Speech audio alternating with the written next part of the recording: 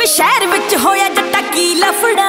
ਬਰਾਮਦ ਹੋਈਆਂ ਨੇ ਉੱਥੇ ਅੱਠ ਰਫਲਾਂ। ਆਓ ਸੁਣਿਆ ਏ ਜੱਟਾ ਤੂੰ ਤਾਂ ਪੀਓ ਚੱਲਦਾ ਡਰਦੀ ਕਿਉਂ ਪਿੱਛੇ ਆ ਸਟੈਂਡ ਤਕੜਾ? ਹਾਂ ਸੁਣਿਆ ਜੱਟਾ ਵੇ ਸਿੱਧੇ ਫੈਰ ਮਾਰਦਾ ਫੈਰ ਮਾਰਦਾ। ਕਿੱਥੋਂ ਦੱਬਦੇ ਬਠੰਡੇ ਵਾਲੇ ਵੇ ਝੋਟੇ ਉਹ ਤੇਰੇ ਕੀ ਲੱਗਦੇ ਕੀ ਲੱਗਦੇ ਜਿੰਨਾ ਫੈਰ ਸਾਡੇ ਪਿੰਡ ਠੋਕੇ? ਜਿੰਨਾ ਬਾਰੇ ਤੂੰ ਪੁੱਛਦੀ ਤੂੰ ਪੁੱਛਦੀ ਨਹੀਂ ਉਹ ਤਾਂ ਬੱਲੀਏ ਜਿਗਰ ਦੇ ਟੋਟੇ।